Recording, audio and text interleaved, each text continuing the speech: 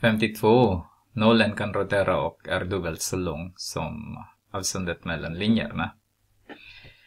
Eh, jag vet inte faktiskt eh, vad, vad ska jag göra, men jag har gjort på det. Jag, jag har förberett den här.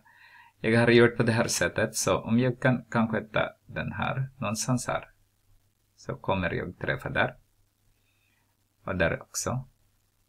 Som du ser där. Det kommer där också. Så, så har jag gjort så här.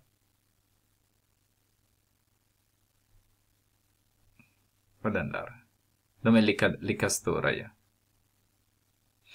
Och den här, om man tittar på den där och sen gör jag i mitten där. Det här är lite primitiv. Så, jag gör mitten där. Så jag ser att den här är jag har delat den egentligen i sex stycken. Alltså en, två, tre, en, två, tre, fyra, fem, sex. Primitiv. Så om jag har två stycken sådana, den och den, så har jag två sjättedelar, eller en sjättedel, en tredjedel som den kommer att träffas, men eh, korsar linjerna, det måste vara tre tredjedelar minus en tredjedel är lika med två tredjedelar. Eh, en annan, annat sätt som jag gjorde är att jag gjorde så här. Så. Och sen gjorde jag en rättvinklig triangel där. Jag vill veta vad är det för vinkel. Därför om jag vet den här vinkeln så jag vet hela den här vinkeln. Om jag vet den här vinkeln så jag vet hela den där vinkeln och den där vinkeln. Därför de är lika stora.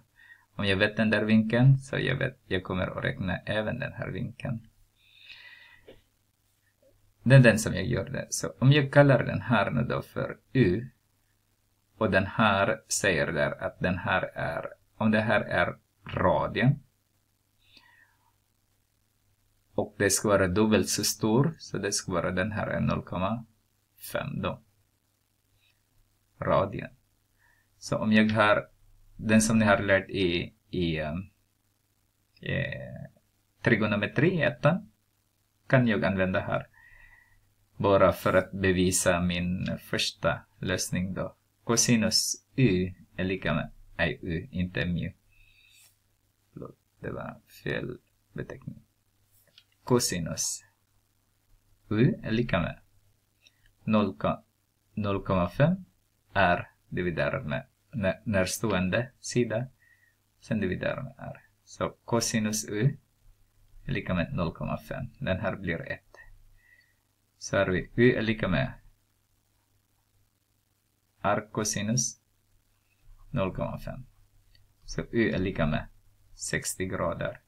Så om den här är 60, så den här hela måste vara, den här är 120. Så om det är 180, den här måste vara 60. Och ni har den här i er V-formelblad. Eh, har ni B är lika med eh,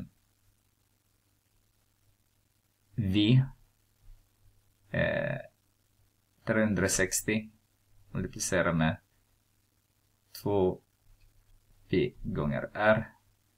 Eller, eller säger jag fel nu? Där, som ni ser. Ja, precis. Men den som jag intresserar mig här. Vi är 60 och 160, äh, 360. Alltså hela den här. Hela den här är 360.